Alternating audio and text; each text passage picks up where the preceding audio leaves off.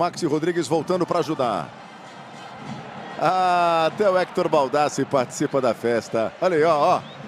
Até o juizão. Que é isso? Ih, rapaz, derrubaram o Hector.